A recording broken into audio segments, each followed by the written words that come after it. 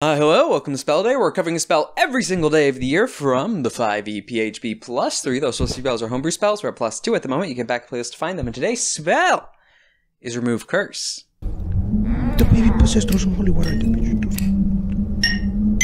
It's a hard-headed baby.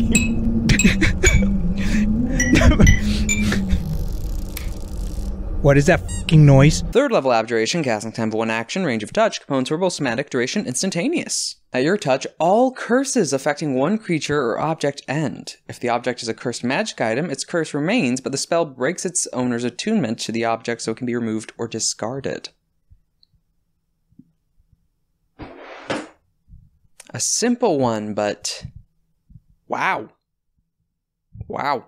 It's a cure all antibiotic for bad magic, in the sense of cursed items or malicious use, which is why I'm not a big fan of it. Not in the sense that it's bad, I just don't run it that way in my games. This is one of the few spells I have definitively homebrewed on how it works. Just because part of the whole fun of curses is that there's some specific need or requirement to break them. Whether it be killing the original caster, some additional lesson to be learned by going through with it, enduring some of its harshest properties, or some greater willpower overcoming it, or getting blessings from a church. Specific blessings, not just an ad hoc third level spell. Because also, this is all curses. I thought this was a curse. This is all curses. And so you can stack up as many cursed items as you want, which tying to attunement slots likely only three. But mm, I don't know, mess with any hags you want, any dangerous liches. You know, just stock up, have the church questioning why you have this many. One casting, you're fine. That's I don't like that. It's good, but I don't like it. Because then what's the point of a curse if it can be simply solved by one spell? And not just one curse, all of them on a creature or object.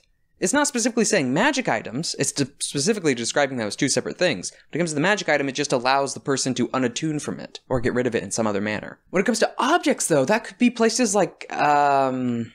It's the opposite of Hallow, but it's the same spell as Hallow certain areas that desecrate places, certain areas that are, are curses. Or, do spell effects, certain spell effects count as curses? Yes, bestow curse immediately, but does hex count? And for that case, does Hunter's Mark count?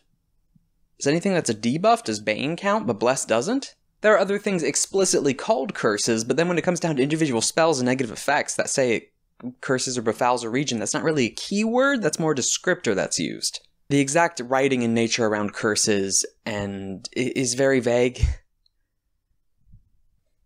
and loosely upheld, leading to a bit of a headache. So, in short, it's a cure all that's actually a cure all, which is no fun, and then it gets into muddled waters of what's a curse and how easy. This is, I mean, it's dispel magic, but you can hit multiple effects, especially if you're going to hit spells.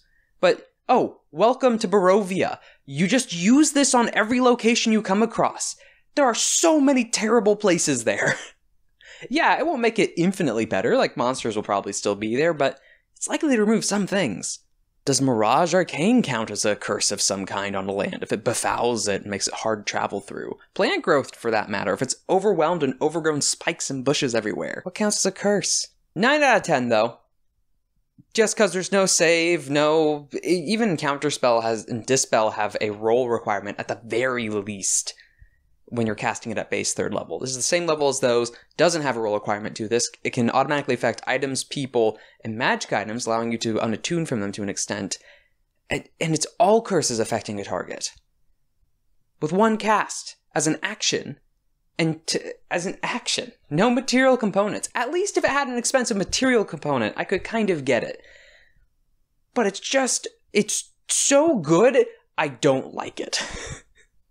Namely, because it takes the teeth out of so many other things by it just existing. 9 out of 10, but I'm not happy about it.